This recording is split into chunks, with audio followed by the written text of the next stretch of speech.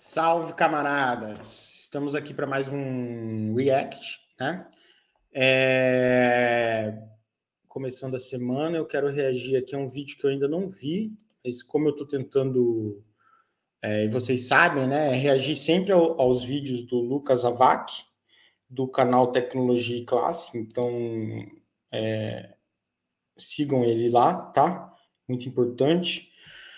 Eu vou pegar esse vídeo aqui, que é de ontem, é, tem 16 minutos. Eu queria reagir a todos esses daqui, ó, mas o que acontece? Esse daqui tem 38. Se eu reagir, o último que eu reagi dele, que tinha 55 minutos, que foi o Observatório Henri Bugalho, eu, eu gravei 2 horas e 40 de React, né? Ninguém vai assistir isso daí. Então eu vou vou reagir a esse daqui é, eu já tenho uma ideia do que, do que pode ser. Greve dos trabalhadores. Vamos ver aqui. É, deixa eu aumentar. Então, acho que vocês já vão ouvir aí. Acredito que seja, claro, sobre a greve na Samsung. Vamos ver o que, que o, o Lucas tem a dizer para a gente e o que eu posso somar a essa discussão. Não prometo nada, como sempre. Aqui, vamos lá, blá, blá, blá. É, a gente ainda está nesse momento experimental aí, tá? Eu estou usando o StreamYard, é, mas eu devo, assim que eu tiver um tempo, eu vou testar o OBS, tá? Porque o processamento via StreamYard, ele, ele fica meio quebrado, então eu vou ter que fazer tudo local aqui. É, mas não é minha prioridade também, se eu não, se eu não fizer isso, foda-se, tá? É, mas eu vou tentar, quando eu tiver um tempo, usar o, o OBS. É, e aí, se der certo, vamos ver o que acontece. Vamos lá greve dos trabalhadores da Samsung. Então, esse assunto eu já queria ter trazido para vocês há um tempo atrás, há mais de uma semana atrás, e já temos novos desenvolvimentos. É uma greve que começou no dia 8 de julho, e então vou trazer. E a Samsung é bizarraça, né, galera? É empresa sul-coreana, né? Pá, gigante aí da, da tecnologia. E eu não sei se vocês viram a última, é que o fundador morreu não tem pouco tempo, né? E, e, e, parece que vai, vai já dar uma treta familiar, porque os herdeiros aí eles são multibilionários, né? É, mas a, a, a, quando ele morreu, a notícia era de que, na verdade, ele já poderia estar morto há muito tempo, tá? Diz que ele morreu lá em 2010, 2011, e ninguém mais nunca viu o cara, não se falava do cara tal. É, e eu acho que foram adiando essa notícia, e eu não, eu não, não duvido que botaram ele lá num refrigerador, alguma coisa e deixaram ele para é, para dar notícia depois de um tempo, melhor oportunidade, mas diz que mantiveram o cara morto, e, e claro, ele continua morto, é, mas só resolveram anunciar agora, tá? Uma das notícias que eu li foi essa, que, que bizarramente aí ele já tinha morrido há muito tempo, tá? Procurem aí que vocês vão ver notícias relacionadas. Vou trazer duas notícias para vocês, uma sobre o início da greve e uma sobre como ela está acontecendo agora nessa semana, né, do dia 25 de julho, que é quando eu estou gravando isso.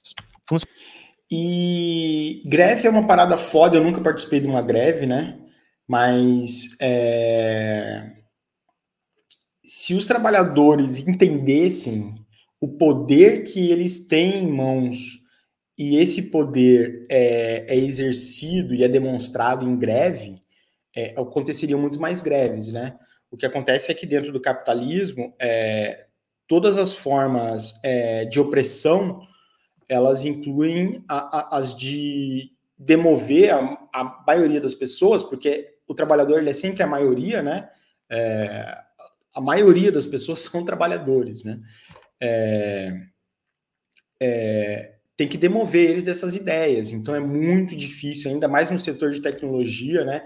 Ainda mais numa empresa privada, você mobilizar aí uma quantidade suficiente de trabalhadores que aceitem entrar em greve. Mas isso, cara, puta, isso, isso, enfim, é um puta poder que o trabalhador tem, só que ele, ele não conhece, né? Ele evita, enfim. Ele ele está sobre um, um, uma dominação mesmo é, da burguesia, né? Da, da, da elite, da classe dominante. E, enfim.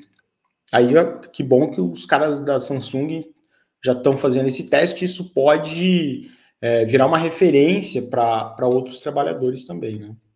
seja para melhores salários, menos carga horária, né? É, se você pega no próprio Capital, se não me engano, no capítulo 7, é, no volume 1, né?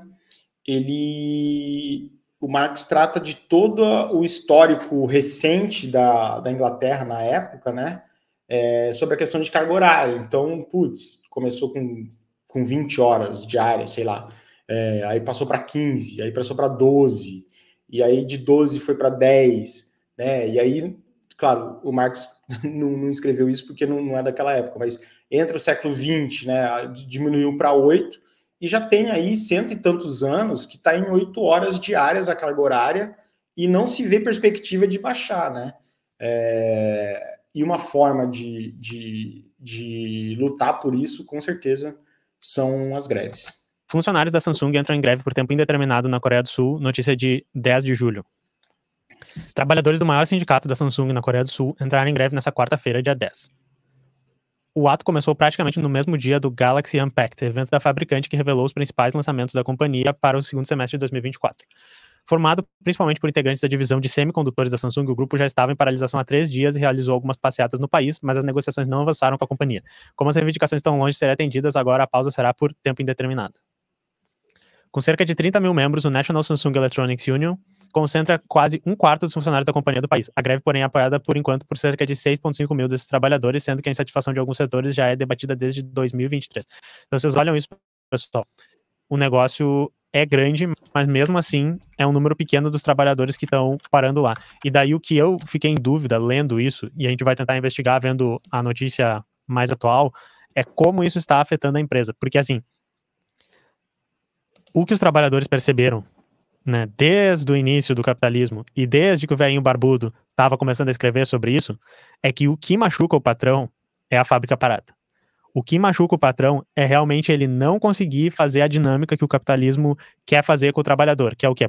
Transformar aquela matéria-prima, aqueles materiais, junto com o trabalho do trabalhador, num produto finalizado que vai virar uma mercadoria e daí a mercadoria vai ser vendida, tá? Se isso parar de acontecer, aí o patrão acorda Aí o patrão diz: opa, nós precisamos dar um jeito disso não acontecer. E é por isso que greves são a única maneira que dá para negociar.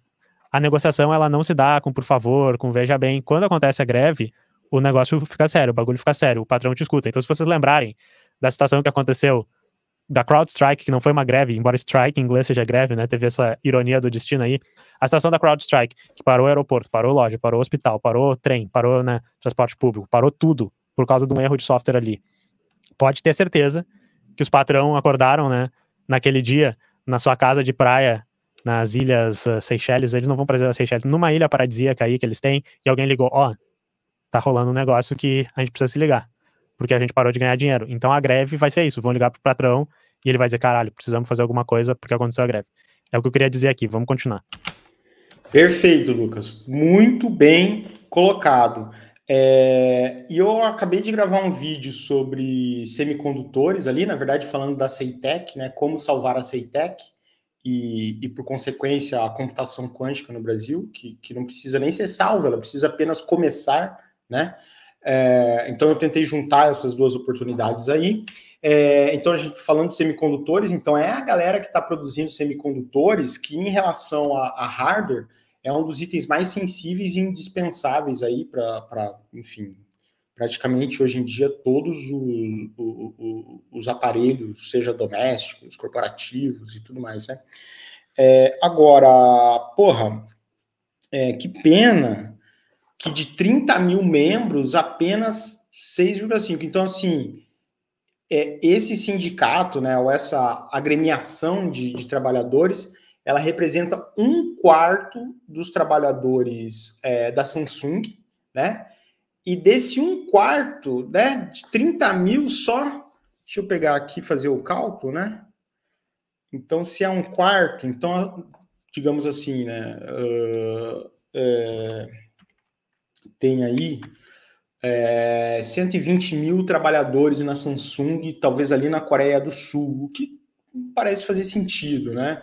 As principais fábricas da, da, da, Samsung também estão na Coreia do, do, do Sul, mas imagino que tão, deve ter mais funcionários trabalhando em, em, na parte industrial da Samsung fora da Coreia do Sul. Mas posso estar errado, tá? Mas vamos colocar aí 120 mil funcionários, né?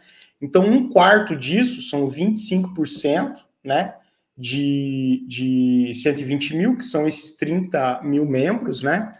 Então, se a gente pegar esses 6.500 desses 30 mil, desses 30 mil, então são só 21% que está envolvido nesse, nesse, nessa greve, né? E do total, então, da Samsung, são. É, deixa eu fazer a conta aqui, pessoal, porque eu não, sou bom de conta, ainda mais assim ao vivo, né?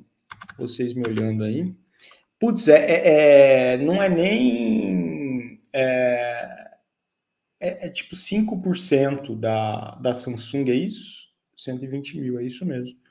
É 5%. Então, assim, é mais fácil muitas vezes, se essa greve não ganhar escala né, e volume, é, demitir esses, esse galerão aí, contratar uma galera que se submete a, a, a, a ao, ao dia a dia ali do trabalho da Samsung, né? E, enfim, é, por isso que tem que. É, greve funciona principalmente por adesão, né, cara? Então, porra, espero que instigue os que ainda não se decidiram pela greve a aderir, porque há que se ter coragem para negociar com a burguesia. O momento é importante para a Samsung em chips. A companhia tem planos de ampliar a sua presença no setor de processadores para inteligência artificial e desafiar a atual hegemonia da Nvidia no setor. E daí vocês veem, um momento estratégico para fazer a greve é o momento onde a empresa está precisando mais dos trabalhadores, porque ela talvez esteja vendo ali uma oportunidade de avançar no mercado que vai dar um lucro um pouco maior para ela. O que dizem os dois lados, eu adoro Então, porra, os trabalhadores estão com a faca e o queijo na mão. A Samsung está precisando deles mais é, do que nunca, né? Então é um bom momento também para uma greve para negociar ali. Isso, né? Que dizem os dois lados. O lado do patrão, ele deve estar dizendo assim: olha, eu quero ganhar mais dinheiro às custas do trabalho explorado de vocês. Os trabalhadores estão dizendo: eu quero receber o suficiente pelo meu trabalho. Vamos ouvir os dois lados e eles são muito parecidos, são totalmente iguais, não consigo dizer qual está certo tá ligado? Tecmundo, calma, eu não vi ainda o que vocês vão fazer, vamos ver o que vocês vão fazer. É Entrevistas pedem melhores condições salariais e aumento nos benefícios. Eles ainda dizem que a marca vai se arrepender da decisão de não participar da primeira rodada de diálogo. Gostei, tô gostando. Fogo, fogo na rompa aqui. Em entrevista ao site da CNN, o líder sindical Sun Wumok diz acreditar que o encerramento das atividades nas fábricas vai acontecer e vai levar muito tempo para restabelecer os locais paralisados.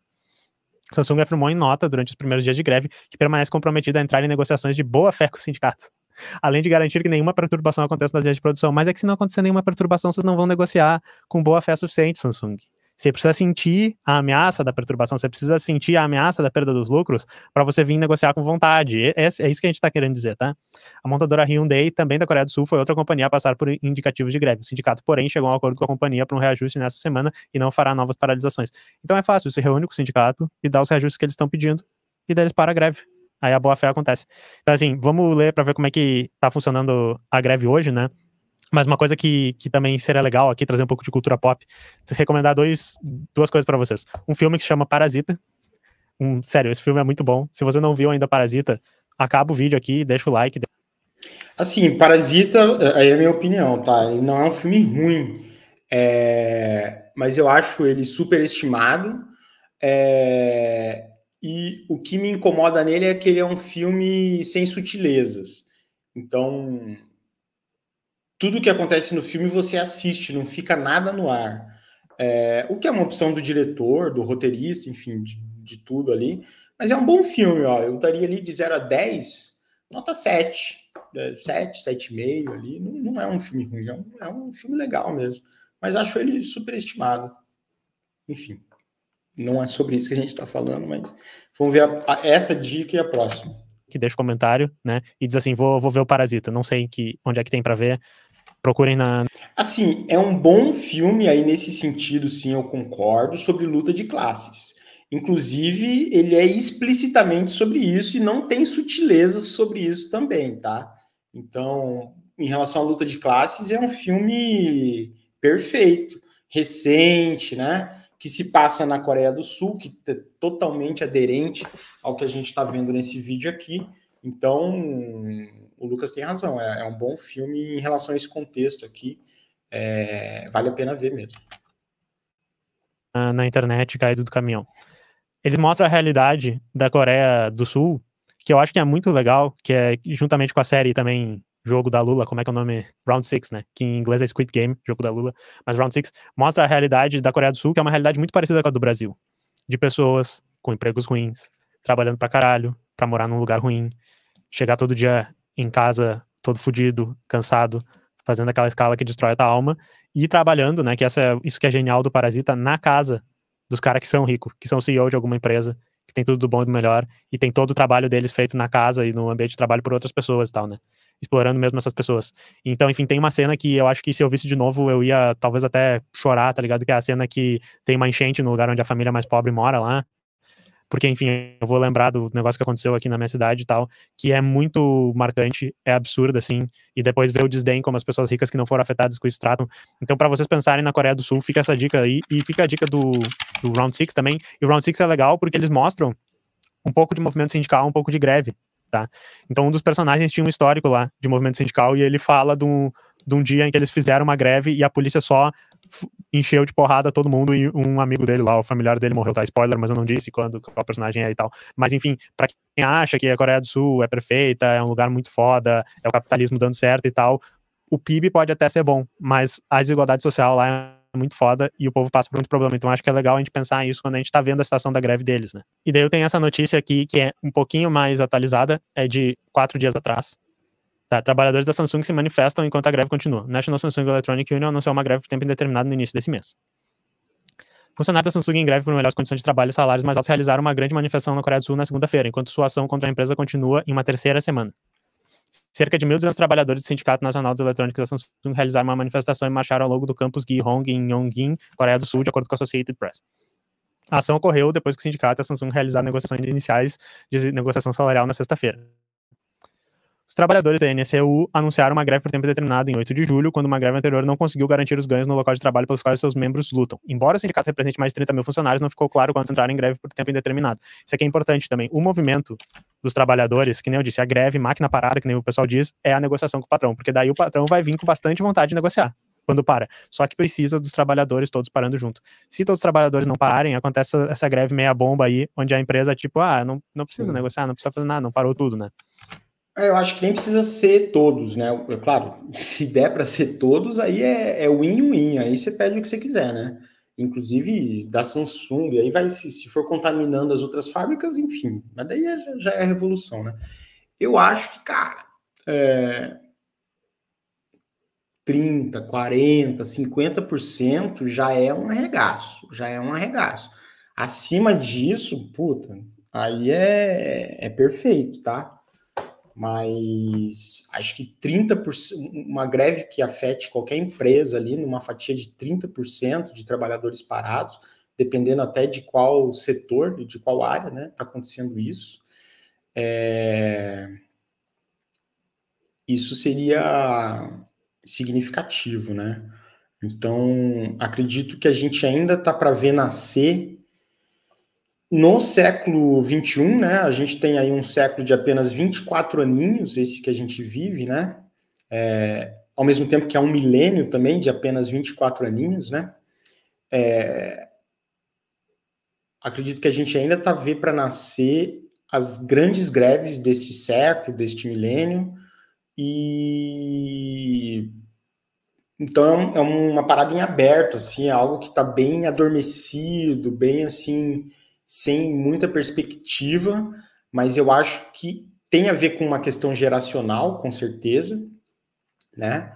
A burguesia tem feito um trabalho excelente nos últimos 40 anos para criar uma geração de pessoas que, que não se questionam sobre o capitalismo, que, enfim, não se questiona sobre a relação de trabalho, que aceita, tipo, uma, uma contra-reforma trabalhista como a do Temer, né? Sem quebrar uma vidraça, sem protestar, né? Então, o, o, os trabalhadores ainda não, não estão, é, não, não tem indicação de que os trabalhadores vão se inflamar por uma greve, mas a gente tem que continuar acompanhando isso, né? Porque essa faísca em algum momento pode surgir, talvez até aqui, vamos ver como vai é, lidar a Samsung com isso daqui, né? Porque talvez quanto mais resistente eles forem e por estar, por ser uma greve que está se sendo noticiada ao redor do mundo, né? Pode ser aí um exemplo, né? É, vamos ver aí os próximos capítulos. E é por isso que é importante o sindicato ser forte, o sindicato ter uma liderança que está ligada com as bases, que sabe representar as bases do sindicato e que vai saber, por meio dessa representação, expressar as necessidades deles e ter um sindicato combativo. Isso é mais fácil falar do que fazer, né? Porque, enfim, pode ter o um sindicato que, por se colocar nesse papel de vanguarda, de querer puxar os interesses, ele não consegue compreender os interesses e não faz a luta certa. Pode ter o sindicato pelego que não faz a luta que é necessária, que não entende, também por não entender as bases ou por não querer entrar em atrito com o chefe, né? Por ser, então, enfim, tem todas essas dificuldades. Mas o que eu falo para você sempre é assim, ó, esse é o caminho que precisa ser construído. Não é qualquer um dos outros. Não é tipo, por favor, Samsung. Não é vá trabalhar em outra empresa. E isso aqui vai ficar bem claro quando a gente falar da próxima parte do texto. Olha só. Mesmo assim, a greve atual é a maior da história da empresa de tecnologia. A Samsung espera que a receita do segundo trimestre aumente para mais de 1.450 do ano após ano, graças ao boom da IA. Eu sei, você no comentário que vai botar boom da IA, tá? Pode colocar aí. Também relatou um salto de 10 vezes nos lucros nos primeiros três meses de 2024. Mas o sindicato diz que os trabalhadores não estão vendo aumento nos salários, apesar dos retornos recordes. Então, e, e, algo fundamental, se você ainda não leu o Capital, eu recomendo, né? É como o Marx demonstra de onde vem o lucro, né? É... Então, toda vez que a gente vê o lucro das empresas aumentar, principalmente é, nessa escala de 10 vezes os, o lucro, né? Da onde será que está vindo esse, essa riqueza? Da onde será que está vindo esse dinheiro, né? É magia? É feitiçaria? Né? É tecnologia? Enfim, é, isso também é esclarecedor. Recomendo aí, é um livrinho bem, bem fininho, dá para ler numa sentada. Então, pessoal, fica a recomendação para vocês: Audioteca Crítica da Soberana, Salário, Preço e Lucro, um texto do Marx que é um texto introdutório sobre como se monta o salário do trabalhador na economia, como se monta o preço dos produtos e como se monta o lucro do capitalista. Nessa análise ali, que é feita para ser didática, tipo uma palestra, uma exposição que o Marx está fazendo para os sindicatos, ele explica o porquê disso. Ele explica que, na realidade, o lucro da empresa não está ligado com os salários dos trabalhadores como o trabalhador ele pode ser, receber menos trabalhando fazendo celular do que um cara que está trabalhando coletando cana de açúcar. Geralmente não, né?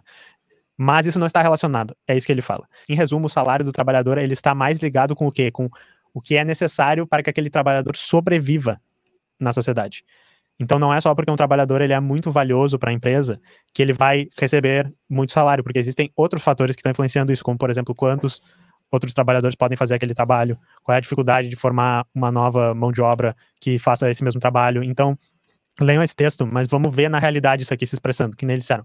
A empresa subiu 14 vezes, é isso? 14,5 vezes o quanto ela está lucrando desde o ano passado. Porém, os salários devem ter continuado igual, devem ter aumentado. Eu, eu, acho que não subiram 14 vezes, entende, pessoal? Muitos dos grevistas trabalham na fundição da Samsung, produzindo alguns dos chips de computador mais avançados do mundo, informou a AFP. A Samsung também é notoriamente hostil aos sindicatos e tem pouca experiência em negociações com seus próprios trabalhadores, dizem os especialistas.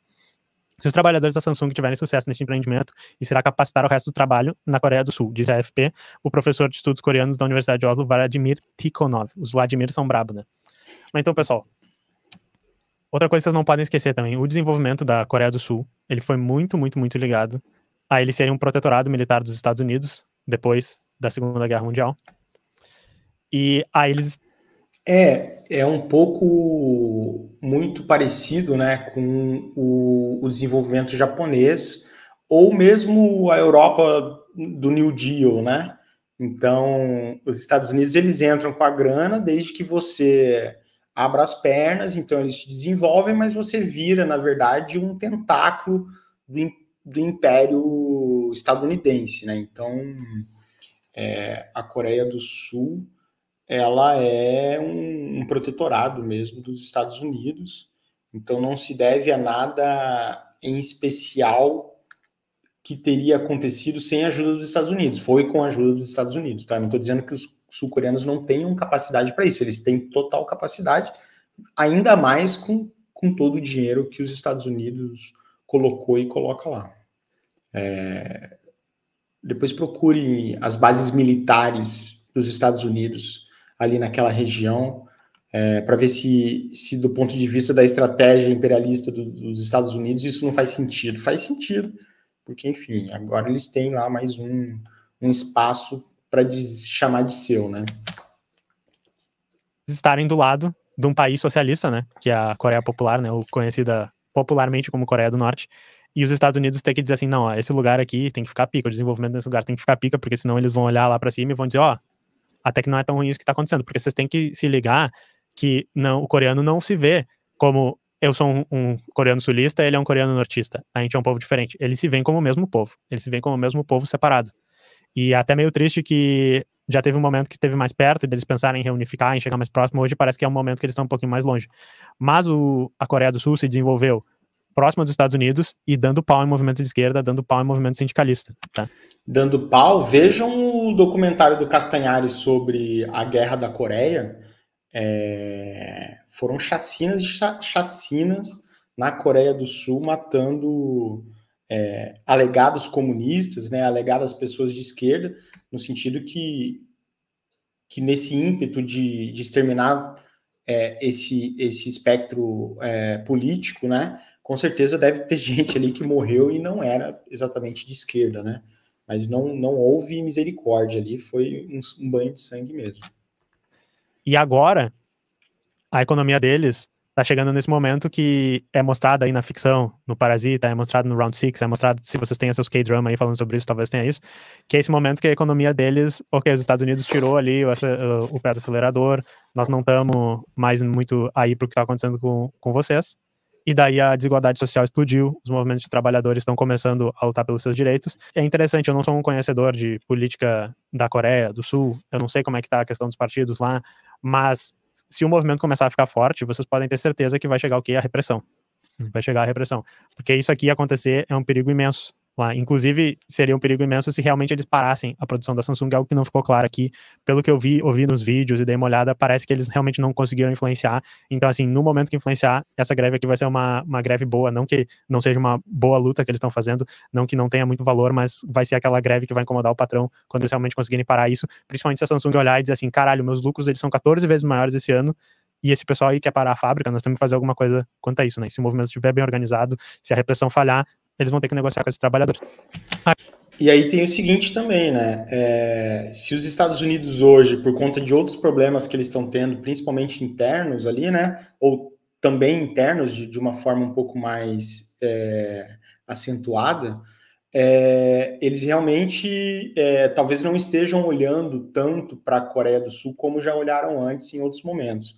Porém, eu tenho certeza que uma greve dessa na Samsung, na Hyundai, é, na LG, enfim, se se espalhar isso daí pelas grandes empresas da Coreia do, do Sul, com certeza os Estados Unidos vão ter que dar um jeito nisso, né? Eles não vão deixar isso barato, porque os Estados Unidos ele, eles têm é, uma política de, de coibir aí qualquer movimento que possa é, ir contra né, a hegemonia deles, inclusive nesse sentido de como as coisas devem ser, como as coisas devem caminhar. Então, trabalhadores ali, ainda mais num, num, num lugar é, sobre com forte influência deles, né, trabalhadores que estão fazendo greve, estão conseguindo negociar, isso é um mau exemplo para os outros todos os trabalhadores, principalmente dentro dos Estados Unidos. Né? Então, com certeza, a CIA já deve estar tá agindo, no mínimo, a CIA, né? É, já deve estar tá ali agindo. É... Vamos acompanhar. A greve não é o fim do movimento comunista socialista. A luta economicista pelos salários não é a, a única coisa que a gente tem que fazer. Leiam o que fazer do Lenin lá, que o homem é muito mais brabo e ele explica melhor que eu.